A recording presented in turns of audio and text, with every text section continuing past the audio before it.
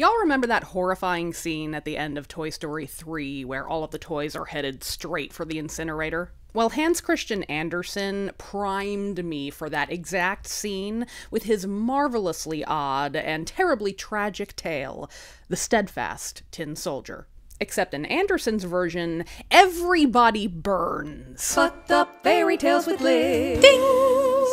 There was once, in the playroom of a very bougie family, a set of 25 tin soldiers.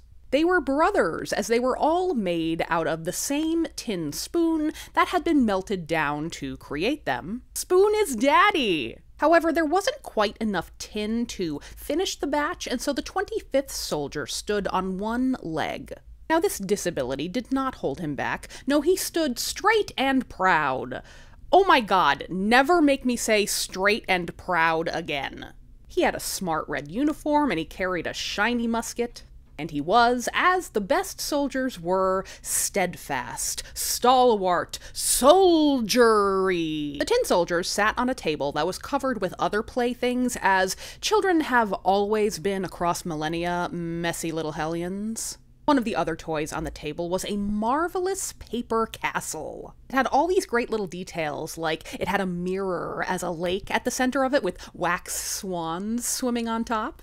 It had intricate paper trees. But its most beautiful detail of all was a paper ballerina who stood at the door. She had a delicate dress made of tulle with a blue ribbon sash slung over her shoulder, and it had a big spangle on it. It was as big as her fucking face. She stood in a perfect attitude effacée. That was a horribly pronounced ballet term uh, when the dancer stands with one leg bent behind her.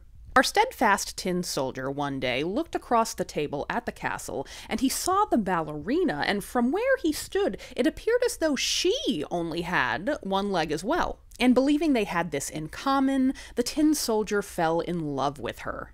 Now, when I was a kid, I thought that was very sweet, but as a woman who has now been in the world of dating, I do read it a little differently. While I totally get his need for connection, I think he's assuming a lot here.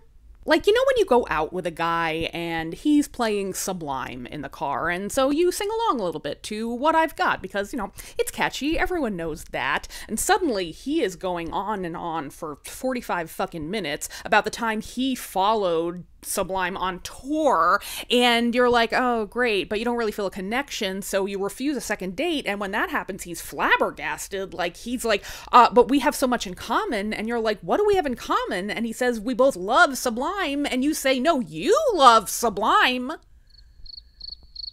Where was I?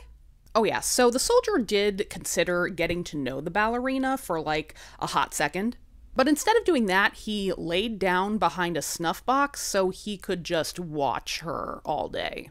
It's giving Freddie Eynsford Hill on the street where you live. And oh, the towering feeling just to know somehow you are near.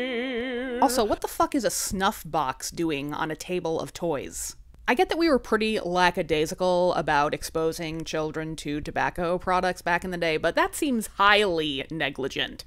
Well, after everybody went to bed, the toys would come alive and party. Of course, 24 of the soldiers had been put back in their container and they were all like banging on it, like, let us out! But the 25th soldier, the steadfast tin soldier, was still lying behind the snuff box, peeping at his lady. But when the clock struck midnight, a fucking goblin jumped out of the snuff box because it wasn't a snuff box at all. It was a puzzle box that looked like a snuff box which actually seems worse. It's like candy cigarettes. Like, what are we doing? Anyway, the goblin sneered at the soldier. Hey, stop gawking at that lady! But the tin soldier ignored him. People stop and stare, they don't bother me. For there's nowhere else on earth that I would rather be. Very well. Just wait until tomorrow. Well, that's fucking ominous. The following morning, the children had set the steadfast tin soldier on the windowsill while they were playing, and suddenly he fell out of the open window. Now, it could have just been a draft, but also it could have been that goblin because apparently he's the ballerina's bouncer. And the soldier fell face first into the cobblestones where his musket stuck between two of the stones. The kids upstairs ran down to find him, but they couldn't. They would have heard him if he had cried out, but he was too proud to cry for help while he was in uniform. Guys, don't let that masculine pride get you. If you are stuck ass up between cobblestones, just ask for help. But he didn't do that. He sat there through a rainstorm until two street urchins found him.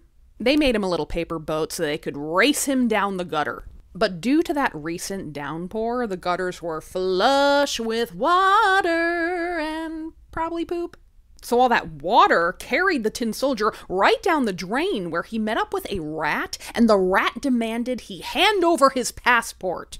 I don't like this rat. It's giving border patrol. It's giving rat cop. It's giving all rat cops are bastards. It's giving a crab. The boat sank and disintegrated, and suddenly the tin soldier was swallowed by a fish. He lived inside the fish for a bit, like Geppetto, except that he was all stalwart and steadfast.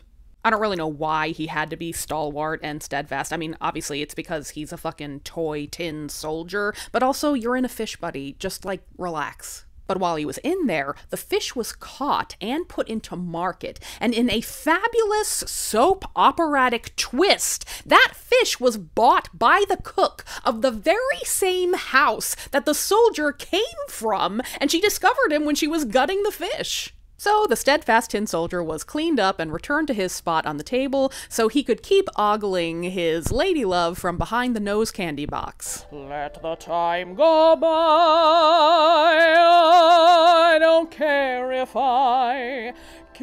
Be here on the table where you stand.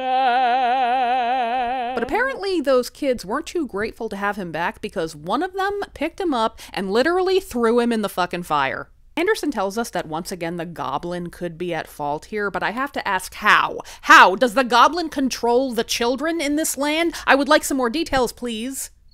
No? Fine. No information on this mind controlling goblin, just a very tragic ending. See, as the steadfast tin soldier was melting away in the flames, the door of the room burst open, and that gust of wind blew the paper ballerina into the fire as well. And she instantly curled away into nothing. The next morning, when the staff was cleaning out the coals, they discovered that the tin soldier had melted down into a little tin heart. But all that was left of the ballerina was that fucking giant face size spangle, which had turned to ash. Wow, that's the end. That is the end. Now, I'm not generally someone who gets into the morals and lessons behind fairy tales because they don't all have them. However, I do think there are some lessons to be gained from this one. For example, if you like someone, go and talk to them because any moment a sadistic toddler could throw you into the fire. I'm a little unclear, though, on why the ballerina had to perish. She truly did nothing wrong. She was just standing there. I don't think we should punish her. She could not make the first move. It was the 19th century. And what is the fucking deal with that goblin? All of that is to say that I love this fairy tale. I love it so much. Um, I find it so charming. And if I can be your fairy tale sommelier for a bit, uh, I would pair it with a lovely red and also with the Happy Prince and cry your fucking eyes out.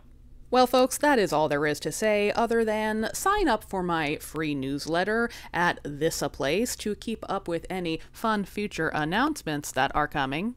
I'll see you for the next fucked up fairy tale.